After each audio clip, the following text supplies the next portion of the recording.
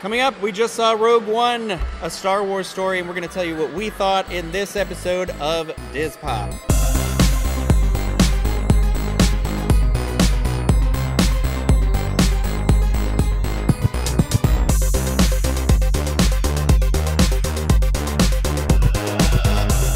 DIS Pop is brought to you by Dreams Unlimited Travel, experts at helping you plan the perfect vacation. Be sure to visit them on the web at dreamsunlimitedtravel.com. Well, hello, everybody. I am your host, Ryan Clavin, and as you can see, I've got some guests here with me the one and only Pete Werner. Charles, I don't know your last name. Doesn't matter. We found him at the movies. We brought him along with us. And we've got Stephen Elizabeth Porter here. As you can see, we're not in the studio. We are in the Artegon Mall uh, down off of I Drive, one of my favorite places, the Cinemark movie theater behind us here. Um, and this was everyone's first experience at this theater except for me? No, Yeah, I, yeah, I have yeah. been. Oh, you've been here before? Yeah, before? during my college program. Oh, okay. Well, so it was a little different now This was, because. I, you I can tell you, this was a really nice theater. well, let's say how we how did we experience the movie? Um, I rented out the theater Yeah, for us and about, I don't know, about 50 of my friends. yeah. And so it was really cool. We had a we had a really nice, fun time with Yeah. all our friends and A the nice, it was like uh, 60 seats or so in a theater. We had one of the small on the smaller sides, which made it really cool, really personal. and all the seats had were recliners. Yeah. And sound and Yeah. uh, screen quality was awesome. oh, it was excellent. Yeah. I was really impressed with this place. um, out of my own paranoia, I'm going to pick this up and just hold it. Um, so we, um, the the staff here was wonderful. The woman came in, and this is one of my fears in a movie theater. When you get a full movie theater, people get um sweaty, and so she said, "Is the temperature okay?" And I said, "You go ahead, drop that down as low as you want, because we're gonna we're we're a we're a hot group in here." I said it. But okay, so enough of that. Let's talk about the movie. Um, I just want to run through the plot really quick. If you don't know and you've been living under a rock, the movie, this takes place between episode three and episode four. The movie leads right up to the opening of episode four, A New Hope, and it's all about the Rebel Alliance and how they stole the Death Star plans that helped Luke and company eventually, spoiler alert, And I think just destroy. for everybody, episode four was the first one that was released back in the 70s. Yeah. So I know a lot of people get confused. Episode four was that one of the new ones that George Lucas did? No, this this was one. This was this is the prequel to the original. Yeah, and uh, you know, and, and we'll get into that in a, in a second too about uh, how it kind of a lot of work went into this movie to make it like that. So I, I definitely want to pay attention to that. So just I don't think we need to necessarily go too far into depth. I just want to say a th- few things about plot. It's it, it doesn't start with the scroll like a normal Star Wars movie, which is fine. They said their side stories aren't going to do that. I don't know how you guys felt about it. Yeah, they definitely differentiated with the music, with some of those elements like the scroll in the beginning, Mm-hmm. um, kind of making it feel like it was its own. Yeah. I was actually really nervous because in the very beginning of the film, they're going through a, like a, a Saturn-like planet that has rings around it, and I thought they were doing a cheesy thing where we were seeing the underside of a scroll, like one of the, you know. Uh, I mean? yeah, well, I thought I thought that was weird too because the ring at first I was like, oh, what's this? Is this like did somebody forget to insert special effects? Like Yeah. it, it looked a little blotty, but it was good. I, I liked how they set it up because they started with a flashback that set up the main antagonist of the movie um, or protagonist, excuse me.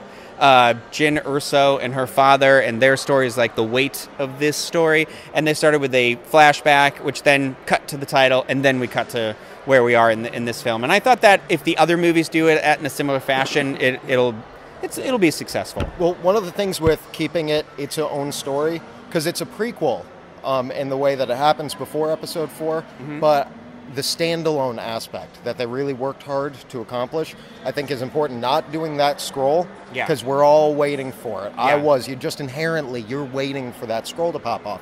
And it doesn't, and for a second I felt like something's wrong. It was a little jarring. And then I yeah. remembered there's no backstory, there's no scroll. This is not so much a this is how episode four happens. This is a this is the story of Rogue One. These are new characters. These are the stories of these new characters Mm-hmm. and their mission and how they go about it and you know achieve whatever dramatic purpose that they Yeah. have. Instead of this is a movie to you know backwards set up other movies you've already seen because also- that's where it gets boring. And also the uh, the uh, uh, the backstory doesn't need to be told in a scroll because we already know it. True. And it it uh, it kind of un- unfolds and unveils itself at varying points throughout the movie, which I thought was brilliantly done. Yeah, that's a really good point because we've had scrolls for the three movie three movies before this, the four movies after this. So you're like, okay, well, we know we know where everything is, mm-hmm. but we this is like the underlying. Though this is.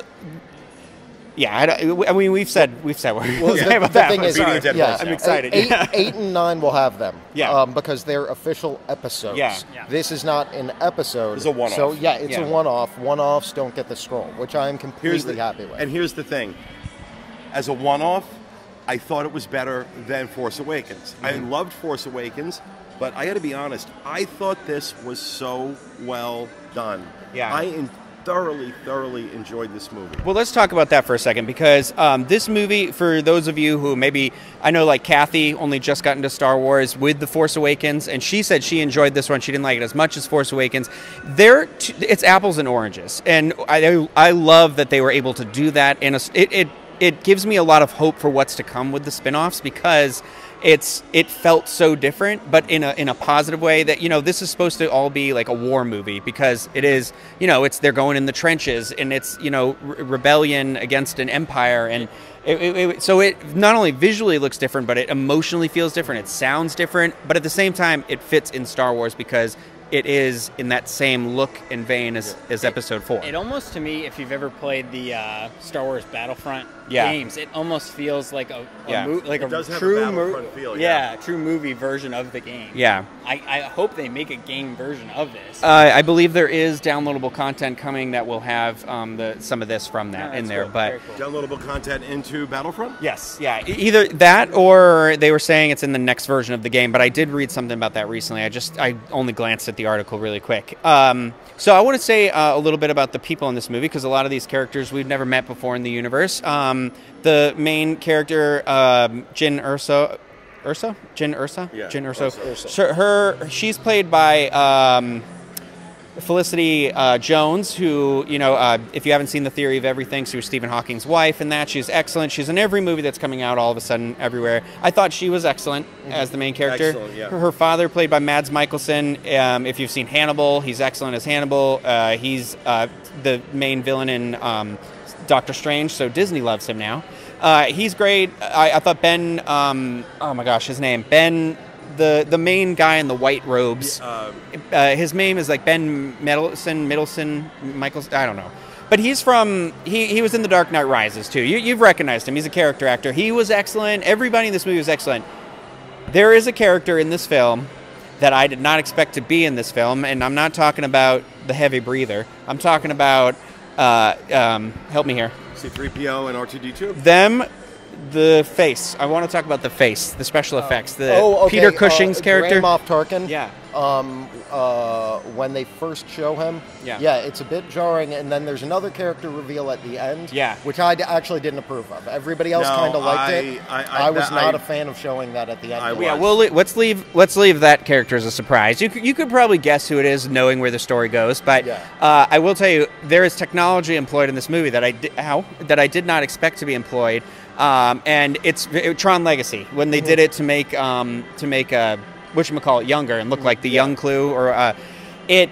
It was excellent to the point where I was like, it, I, you know, I had to stare at the screen and be like, "Is that Peter? i- i- Is like that somebody that just really? looks I- exactly See, like him, or were you like I- it was I'll fake?" be honest with you. I didn't realize that it was CGI. I'm like, wow, they really found a ringer Yeah. for Peter Cushing. Um, the the voice was off a Oh, little bit, yeah. but uh, but the face, but you know, Yeah. then when somebody said no, it was CGI, I'm like, I was staring at it. Yeah, it was crazy. because it was really well done CGI. Yeah. I think it was really well done, but I could definitely tell. Like I felt like his mouth movements were definitely weird. Well, to that me. that's where it was the cheeks where I was kind of like, "Eh, is he like, I, I- yeah? But it made me second guess. But it's it was a great unexpected fun, and it, I want to say the use of that character was like one of my favorite moments in the movie Yeah. are between him and um and the other the other guy whose name I cannot remember the general in the white the white uh the one who was in charge of the Death Krellick. Star having it Krellick yes Yeah, yeah yeah, um I th- you know um uh, anything that you guys like stood out it, it, we're- we'll stick to like actor or performance or anything like that to you I'll say Forest Whitaker's character, Saul or whatever his name was. I thought of any of the thing, I love this movie. I thought it was really, really good. Of anything in the movie, Yeah. I, I, I didn't really think was necessary. It's like his character. I feel like the story to connect everything together. It felt weird. could yeah. have been taken out, and they could have gotten the point across Yeah. without his character being super Yeah, necessary. and But it's Forest Whitaker, and he's an amazing actor. I yeah. he brings he brings something to every role. So I am going to tell you if you're looking for that moment from the original teaser, though, where he says, you know, will you continue to fight? What will you become? That's not in this movie. Uh, about 50% of what you see in the trailers and commercials is not actually in the movie. Um, so that's a little weird. I don't like when movies do that, but, you know, it happens in the process. They tried to show us this movie over a year ago, and the movie wasn't done until two weeks ago, so that's what happens. But um, I do agree. I thought his, I, I, I well, from what I believe, that character, though, Saul, Saul, uh, he is actually exists in the animated series of the Clone Wars. So that was the first of them trying to connect universes together. Well, then I- so I appreciated that. like the, his his character arc was one of the few times where, um, and I don't know how spoilerly spoilery. Just you don't guys give wanna the get. major ends Yeah, but yeah. um, I I'm not happy with the way his character arc ended as far as the I movie's agree. concerned. Yeah. and I don't think like they did what. I mean, I, I have no idea about him in like previous stuff, I don't but know just as far as just this movie, with what they set him up as, and then the way the arc It's comes to fruition, anticlimactic, yeah. it's anticlimactic, and I don't think it like that was the first time in this movie. And in most Star Wars movies, it happens like 80 times before the opening credits. Yeah. But that was the first time where I was like, eh, that was, you know, But but and I will say this: the first mm, act of the movie for me felt a little slow, and I don't I don't want I, I'm gonna see it again, um, and I don't know that I'm gonna stick to that opinion. I think maybe it was just kind of the like you've got to shake off the Force Awakens before you go in, and I know we all knew this wasn't going to be the Force Awakens or anything like that, but it. It's the first one of its kind, and for that, I think it's Well- actually under more scrutiny than the Force Awakens. tell you know, you, you know, I enjoyed the Force Awakens. It was great fun. It was, you know, it was an old, but it fun was, is the key word there. This Yeah. one's not fun, in a good way, it- not in a yeah. bad way. Um, but also, the Force Awakens felt, even though you know, J.J. Abrams said it was an homage to the originals. Um, it felt like a rehash. Yeah, yeah. It felt like a lot of plot points were borrowed. Nostalgia characters, characters were you know the same but different. Um, this was an entirely original Mm-hmm. story. This was a, original characters.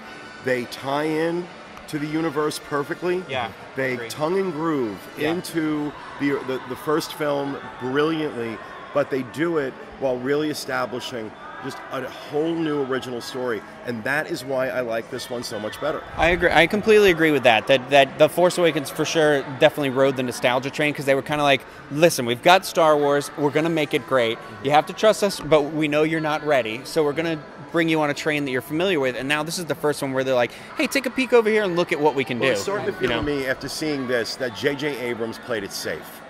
Mm-hmm. That there weren't a lot of risks taken. He, he he used plot points and he used mechanisms that were already established completely in the first film. Mm. Um, and so he played it safe because he didn't want to screw up this you know multi-billion-dollar investment.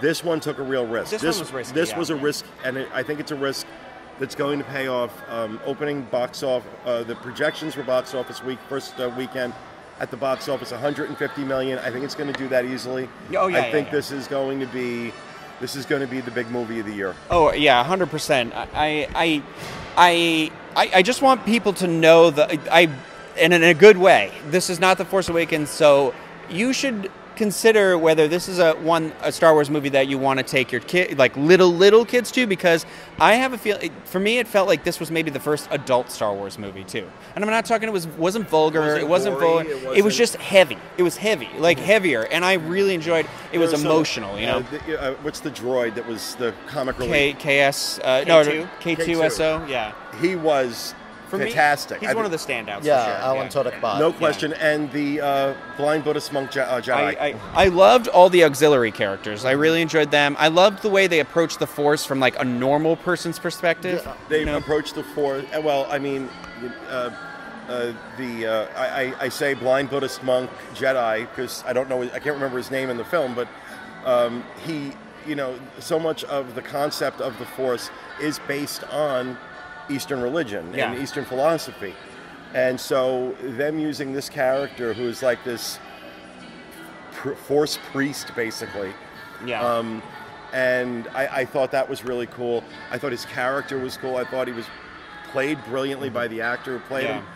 Um, I, I, I think he may be my favorite Star Wars character ever. It's it's interesting. There's a lot of really cool messages here about um, kind of you, you you know. It's not necessarily this approaches the force not as maybe a religious thing, but more as like we all choose who we want to be. You know, you can choose to be brave, you can choose to be good, you know, and you can choose to have faith in something. You know. But that's um, one of one of the things as a normal person, like who thinks about the Force, and you know, like uh, in the previous movies, you're. You saying a- I'm not normal?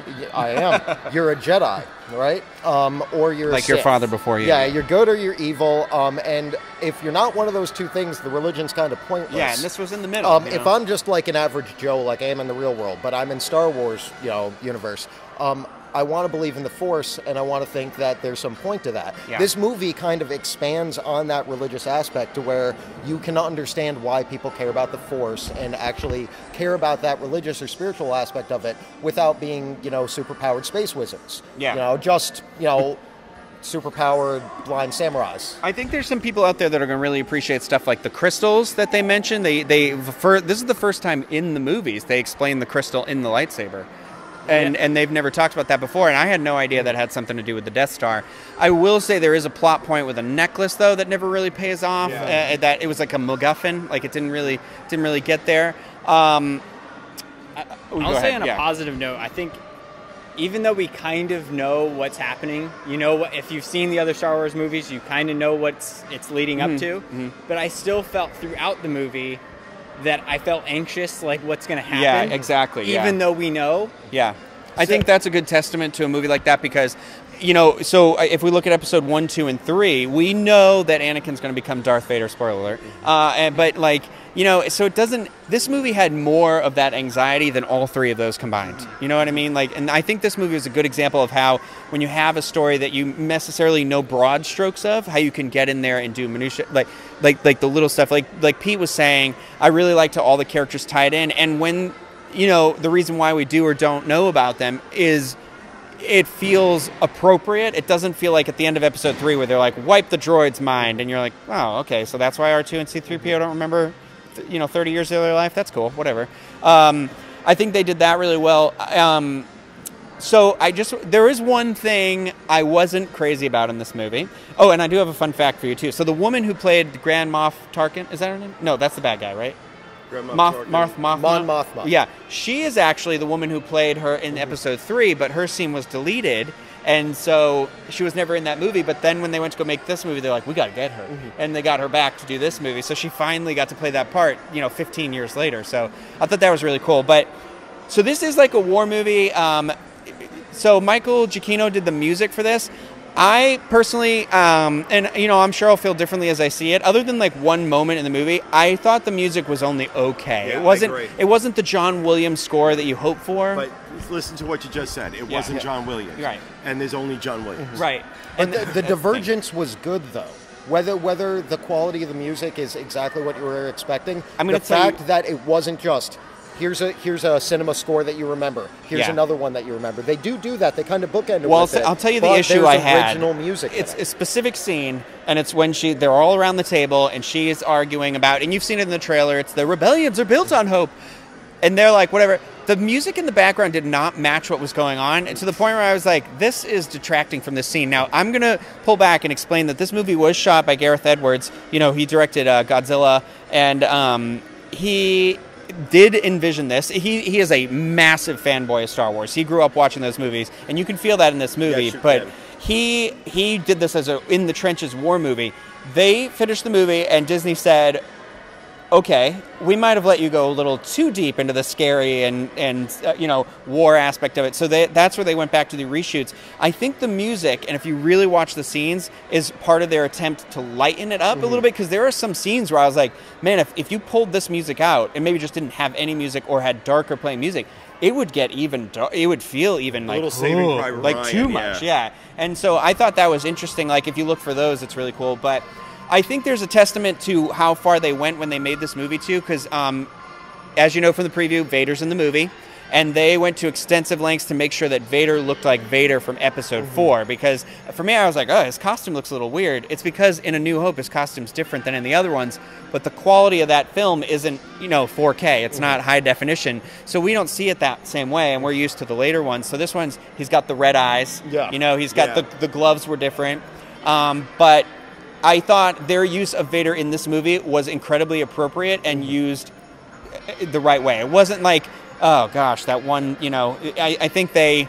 It, it, it felt like he was there. It didn't feel like they were tiptoeing around it Yeah, they gave him enough screen time that we got our Vader fix, Yeah. but it wasn't a Vader movie. No. right? Yeah. He wasn't a main. He wasn't a main character in this. Mm-hmm. I thought that was done really well. Um, I thought the whole thing was done really yeah, well. Yeah, their attention to detail in making things like the the rebel base look exactly like the base in the other one. Mm-hmm. I read this whole thing where they went in and they found they wanted to use the exact same fabrics for like flight suits. They wanted to use the exact same stuff. It felt like Yeah, it. It, and it- felt like the Rebel base. And it- you not knowing that, that's the first thing you said to me when you walked out of the movie. You were like, for those of us who were around at the beginning, this felt exactly like that, and I think that's a big. well, you know, and that's it. You know, I saw I saw Star Wars for the first time in what was it 76, 77 in the summer. 77, yeah.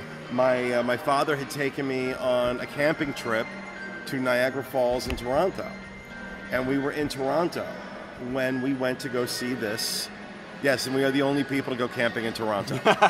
um, but he took me to go see. It was the sum that summer, so more than any other Star Wars film that I have seen since then, this brought me back to that. Yeah. Emotionally, it connected me to that. It connected me to that experience with my dad. okay. Um, and I think that's one of the reasons I like it so Yeah. much. And what I was hearing after the movie and some of the people I was talking to, those of us that were around for the original connected with this in, in, a way that people that weren't didn't. You know, th those of you that weren't, except for you, Star Wars hipster. the, you know, uh, were like, yeah, it was good, it was good. Those of us that were around for the, I, were like, oh my God, that was amazing. Yeah. Because there, it, that's how good a job this man did. Yeah. I was there for the first one, and I'm telling you, he really brought it back. So if you're in that, Mm-hmm. if you're a woman of a certain age, um, you're going to get that seeing this movie. You're going to reconnect because it does. There are those elements that just feel like the original, and that is such high praise for this director. Ab- absolutely. I, you know, it, it, it, like I said, it felt like, and I don't mean this in a bad way. It felt like somebody who was. Uh, we're being treated to uh, Christmas tunes while we do this too. Uh, And I thought I'd give you a little something. Yeah. I it felt like I was watching Disney was like, "Hey, you know what? We're going to make your Star Wars fan film." So it was like somebody who lived, breathed it their whole life, got the ch- someone was like, "Here's a bunch of money. Let's make this a canon film and it's going to be and you know, and, and I look forward to more of those, you Yeah, know. well, the, uh, one of the things like the, I thought the exact same thing. like this is a Star Wars film that I have actually been waiting for for a couple reasons. And one was I haven't been invested in characters or cared what happened to them in many films. Mm. But the other was it felt like they stopped pandering just a little bit.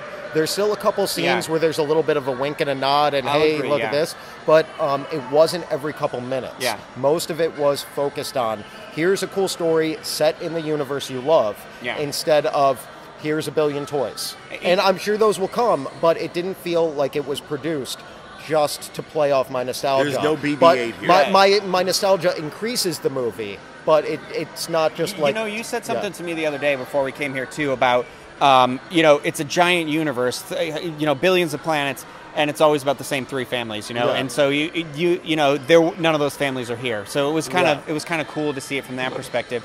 Um, I am going to make a complaint about the R2D2 C3PO cameo that was in it. Felt like uh, Disney was like, you got to put it in there because they make a cameo on the base. However, the It's ship a continuity problem. yeah, because they're supposed to be on Leia's ship with her, and that ship may or may not appear in this film. And you're like, that ship was that just at the base? And are they? How did they? So it was like, it was it was a point that it like took me out a little bit, and I was like, ah, I don't like that moment. Yeah, it was was- definitely a studio It was moment. the you know? first thing I, I thought when I saw them. I'm like, you're not supposed to be there. Yeah. Yeah. It's Uh, like those those droids have the best contracts in the galaxy because regardless of whether it's appropriate in the movie, they're thrown in, and I visibly like winced when I saw Yeah, them. yeah. And it, but but the thing is, with a lot of Star Wars movies in the past decade or so, um, I that happens all the time. With Yeah. this, it was just a couple moments where that happened, and then you could go on with your Yeah. enjoyment of the movie. you know? Yeah, I, I, I appreciated a lot. There was some emotional weight to it for sure too. You know, I liked the the personal story they tried to weigh it down with. Uh, I liked the diversity of the film too. You know, that's something to mention that they, there was some Hispanic characters in this movie, and we haven't really seen any of that in the Star Wars universe. I, I know someone made some hubbub about it being like another female lead, and Disney was like, we didn't even we didn't even think of that. Who mm-hmm. cares? They were like, what's wrong with everyone? What's wrong mm-hmm. with you? You know, and I think I think that was good reason. I thought she was fantastic. I mean, there's really not I mean, I, I, I praise it very highly. You know what I mm-hmm. mean? I look forward to being able to see it again. Now, I get an anxiety when it's a new movie that you're looking forward to. So you have to watch it the once, absorb it, and then watch it again. Yeah. And you know what? We're, we're two movies in to Disney's Oh, acquisition of Lucasfilm, and I think it's safe to say now the franchise is in excellent, excellent hands. Yeah. They have. They are really doing. I th- I think they're doing an amazing job. I think they're doing an amazing job with Marvel. I think they're doing an amazing job with this. We're getting great entertainment. We're getting stories that uh, expand a universe we have loved and followed for years, uh, both in Marvel and in uh, in- in Star Wars. And and Disney is making boatloads and boatloads of money. Yeah. That's a win-win. Well, know? it's, it's great for us because I hope they experiment more like this. I you know, I love the to. episodes, but I, I look forward to the Han Solo. I look forward to more of these out there. Maybe a story about the origin, you know, where the Jedi come from. Let's see them in their prime. You know, stuff like that. And and so it's it's cool. It's great that this film is going to do well, like we all predict, because it will give, I think, more freedom to the upcoming films to, you know, Absolutely, s- yeah. to push it a little bit more and undisneyfy it that little bit. right, bit and. I'm hoping the studio starts to like pull pull back a little bit more. I understand they're still nervous. It's only the second one out of the gate, but they need to start pulling the claws further and further out and just let people go a little bit, you know. And it's it's working well with Marvel, and it's clearly we're in for some treats here. So, if anybody have anything else they wanted to add about the movie that we Should we made, Go overall see it. rating. overall And- rate that's what i want to say so i like to do it like rotten tomato does it i give it a percentage or whatever I- I- what do you, uh, so charles percentage For now, uh, I'm gonna go with 82. initial oh okay that was a little lower than i expected you to give it but Yeah. okay Uh, I guess I'm an easier judge. I was going to say 87. All right. Well, I guess I'm going to be the effusive, uh, the effusive one. I'm going to give it a 93. okay that's pretty good i you know what and i'm i'm getting it a little higher marks than i maybe expected i would sit around 87 i'd say right under 90 somewhere right under 90 and that could potentially change when i see it again so it's definitely there's no question it's a good movie it's a must a star wars movie is the reason why we have cinema theaters why we have all that stuff you go to the movie theater and now we rent movie theaters to go see it too so we recommend that It's a way lot less expensive than you think. yeah It- it- I was stunned how inexpensive it was to do this. yeah, and um, you know if you're if you're coming to Central Florida, the the people here at the Cinemark and the Artegon, it's These- not that far from Disney. And these guys were wonderful, and it's right across the street from the uh, The outlets, yeah. the Prime outlets uh, on International Drive, which are my favorite outlets. I like them better than Premium down in. Yeah. Uh, It's a little easier to get Vista. around in those ones. Yeah. and it's not as crazy, and they've got great stores. And this is right across the street. Plus, this mall that they're in has a lot of stuff from local artists. I was really, it was kind of cool. Yeah. there's a lot of cool stuff in here, um, and it's not crowded, unfortunately, or fortunately, depending on how you, how you want to look at it. So, if you're looking for something to do off-site that's a little different, you're going to be over at the outlets. Come on over to the Artegon. Go check out the Cinemark. Um, check out some of these stores. I, I was really impressed with it. Yeah. So I mean, uh, if you're you're going to see the movie, let us know what you think in the comments section. Tweet at us, Dispop Show, uh, at the DIS, anywhere. We all want to talk about this movie. We love Star Wars. Um, Facebook, all that, all that jazz. Um, like I said, let us know if you're going to see it, what your opinions were, disagree, agree, whatever, you know. Or if you hate Star Wars, I guess get out of here. What are you doing watching Yeah, this really. video? But How did you make it to this? yeah, how, how are you still How are you- watching right now? Oh, uh, how you hello, four attractive people on the camera. I have I have thirsty watched quite a few things that are terrible. Uh, so I think that's actually most of my audience has whittled down Thirsty to people. So when you you got to th- you're in the desert, you're parched, and you say, "Girl, you thirsty?" I'm fanning myself as I Wow. do it, but well, that'll There is do it. More estrogen per square inch in this body You'd think than I would have any been other person you know. soybeans all day, but um, yeah. So that'll do it. That that's it, I guess, for the year too, unless some little things pop up between now and the new year. But uh, thank you for watching, um, and we'll see you next time. Thanks. Bye, everybody.